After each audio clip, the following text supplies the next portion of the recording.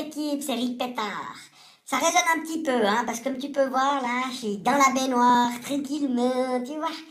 Alors voilà, 2014, 14 février, la fête des amoureux, hein. J'avais déjà fait une petite vidéo en 2013, je sais pas si t'avais vu, là, je viens de la remettre sur Facebook. Et puis, ben, je dit, je vais en refaire une pour 2014, parce que, bon, à voir, il y en a plein qui n'ont pas compris que c'était une connerie, cette fête. Hein. Enfin, bon, voilà. Puis du coup, moi, je voulais alors raconter un petit truc. J'ai un petit truc qui m'embête dans le bain, là. Qui coince un peu, c'est quoi ce machin, quoi? Oh, bah, ah, on dira personne, hein.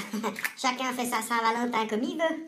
Enfin bon, je, voulais raconter une petite histoire, là, enfin une petite blague, quoi, tu vois, un petit, un petit comme on dit. C'est en fait l'histoire euh, d'un couple à la maison, tu vois, puis, puis bien sûr, c'est la Saint-Valentin, puis là, la femme, elle fait à son chéri, elle fait, dis donc chéri, euh, t'oublies pas aujourd'hui, hein, c'est une date euh, importante. Puis le, le, mec, tu vois, il dit, ah non, je vois pas du tout, qu'est-ce que tu racontes? Puis il fait, mais oui, c'est, c'est la fête des amoureux, c'est la Saint-Valentin.